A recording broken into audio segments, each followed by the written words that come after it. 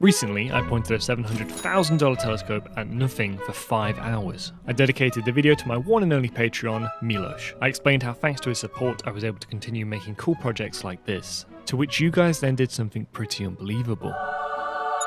So, as a thanks to those of you who left kind messages of support and even donated to fund this channel, I've had an idea. I'm going to convert some of your names into coordinates and then point some very expensive telescopes from all across the planet at these locations. Wow. I will then take several long exposure photographs and analyse what curious wonders we have stumbled upon. I'm Damon Scotting, and this is Astronomical. Our first target will be thanks to the donation of Chaz. Now, Chaz starts with a C, which is the third letter in the alphabet. Then we have H, which is the eighth, followed by A, which is the first, and then Z, which is the 26th. Some names will be long enough to give us a full set of coordinates, or in Chaz's case, I'll simply have to reuse them for both our right ascension and declination. And voila! I type in these coordinates for a $50,000 telescope setup located on the other side of the planet in Australia. Then, Bob's your uncle, we have our images. I then process our photos to produce our first deep sky image of the episode. And. There we are. Spooky. This particular shot is 60 megapixels, which means there is plenty to explore on a smaller scale. However, in this instance, there aren't too many curiosities hidden away. Nevertheless, our first capture is one of a desolate landscape that hints at the mysterious wonders out there that are waiting for us to discover. So, where to next? How about the sky? Our next Patreon has a very fitting name for our astronomical observations. Once I input their name as coordinates and use a bit of imagination to fill in the blanks, we have captured our second set of images. Which bring us very close to a stunning globular cluster. But as marvellous as this super dense collection of solar systems is, they are barely scratching the surface in terms of what strange phenomena have also been captured in this image. Now I need to stop the video here and quickly make a point. I am still a novice explorer of the universe. In my past 11 years of stargazing, I have seen many odd and peculiar wonders, but something incredibly unlikely has happened. You see, I'm starting to feel as though everything is linked. Interlinked. And I mean everything. When I first captured this globular cluster, my initial thought was, wow, that is stunning. Since it's located in the southern hemisphere, I've never imaged it myself before. But when I was reading up on it, I not only discovered that it is in fact the fourth brightest globular cluster in our night sky, but hiding behind it is one of the oldest and best kept secret dwarf galaxies we've ever discovered. Bedin 1. I first learned about Bedin 1 last year and it intrigued me so much that I went on to make an entire video about it.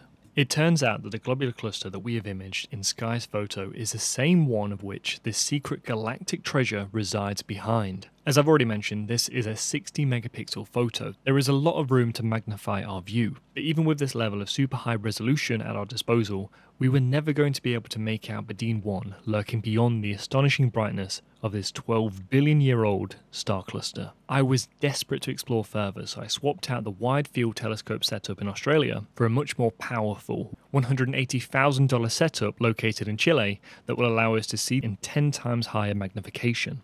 And here we go.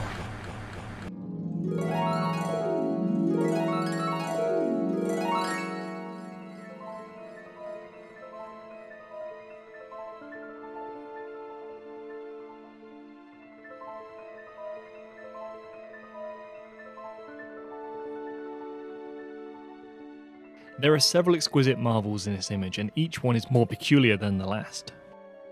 Perhaps the most bizarre of them all is this group of galaxies towards the lower left. This stunning galaxy triplet is known as the Devil's Mask. You are witnessing a cosmic ballet as these galactic monsters dance together in a performance that will last for billions of years, pulling on one another's arms as they intertwine their constituent stars. Hundreds of billions of solar systems now slowly coming together to form an island of over a trillion stars.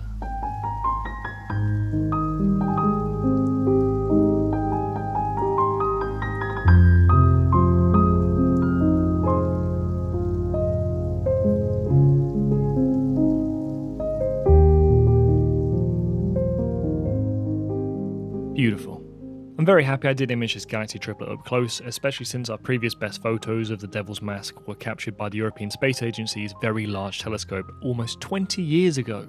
You could perhaps argue that with a little better processing skills and more than just 40 minutes exposure time on these galaxies, you could produce an even better image than this one taken by the VLT. Hmm, now wouldn't that be something? Maybe that's a challenge for another day.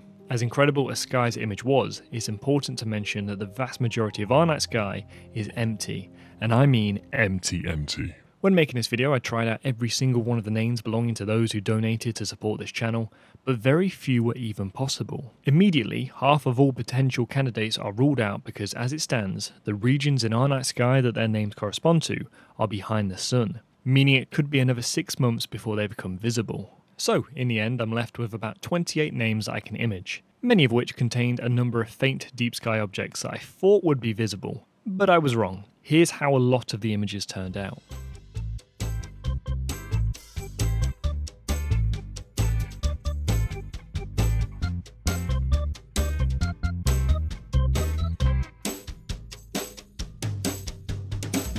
But in spite of these obvious difficulties, I did still manage to capture some exceptional wonders. Our next target is thanks to a generous person by the name of Sim. They joined the Destroyed by a Star level, which cost just £1 to be a member of. I used their name to generate some coordinates and found a gorgeous galaxy. I mean, that is absolutely breathtaking. It's difficult to know what our own galaxy looks like without the help of a 100,000 light year long selfie stick, but based on the current estimates that we can make by looking at the Milky Way galaxy in our night sky, we can say with a fair amount of confidence that it looks very similar to this galaxy right here. A little known fact is that we have several tiny satellite galaxies that orbit the Milky Way, 69 to be exact, with two of the brightest and most noticeable being the small and large Magellanic Clouds. They're only really visible from the southern hemisphere, which makes them impossible to see for 87% of the population that lives in the northern hemisphere.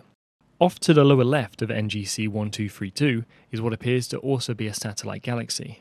The similarities don't seem to end. This is actually the first time I've come across this galaxy. After all, the universe is a very big place. 10 out of 10 would randomly point a telescope at again.